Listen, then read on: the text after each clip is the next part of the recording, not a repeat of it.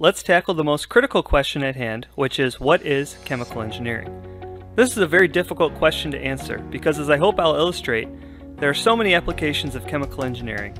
If you ask this question to 10 chemical engineers, you would likely hear 10 different answers. I'll attempt to summarize very broadly. The key word that always comes to my mind when thinking about chemical engineering is process. The core competency of chemical engineers is the ability to design a process with the end goal of making something by chemical or biological means, typically but not always in large quantities. Here, a process means a series of steps or actions to transform raw materials into a finished product, similar to how a computer engineer thinks about an algorithm. The amount of goods that fall under this definition of made by chemical or biological means is quite extensive, and it can change the way you view the world. For me, almost every trip to the grocery store or pharmacy leaves me wondering how certain products were manufactured.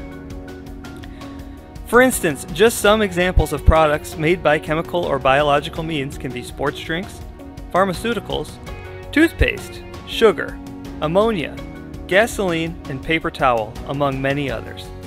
These products are generally produced out of some combination of raw materials in large quantities. A chemical engineer might design or oversee the process that manufactured these goods. Another word that comes to my mind when I think about chemical engineering is scale.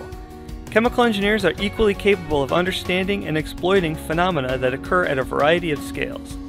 For example, a chemical engineer can understand and model the way a fluid behaves, whether it is a reaction occurring in a very small microfluidic device or crude oil flowing through the very large Trans-Alaska pipeline, or anything in between. Some chemical engineers have the duty of performing scale-up analyses.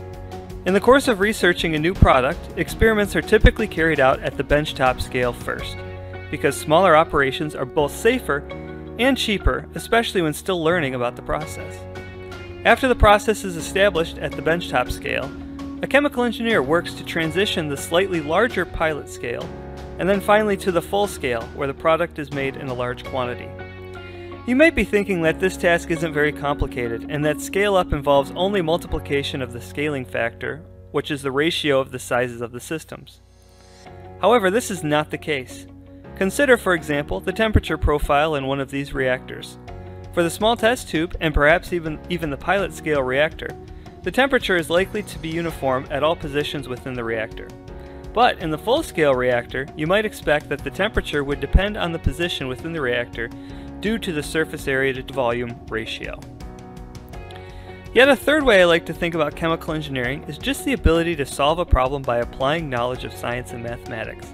I focus heavily on the critical thinking aspect in each course that I teach, because to me, the ability of chemical engineers to learn and apply their knowledge to new and unfamiliar problems is a big reason why we are always in demand in a variety of jobs and industries.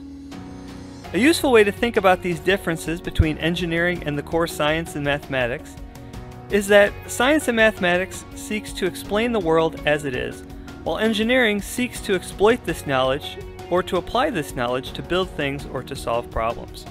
I'd also like to mention here that one of the biggest misconceptions that I notice is that chemical engineering is the same thing as chemistry. From my own recollection of all the prereqs for engineering, Perhaps Gen Chem and Orgo are two of the most polarizing. Please excuse the bad pun there. I've noticed that some students declare chemical engineering because of positive students with chem chemistry, while some bright students unfortunately stay away from chemical engineering because of neutral or negative experience with organic chemistry. If this sounds familiar, you should know that you are not alone. I personally struggled myself to understand organic chemistry at first, and I was pleased to discover that chemical engineering is equal parts biology, physics, and calculus. To summarize, these are my three working definitions of chemical engineering. First, to design processes to produce anything made by chemical or biological means. Second, to understand and exploit chemical and physical phenomena at a range of scales. Third, to solve problems by applying knowledge of all branches of science and mathematics, not just chemistry.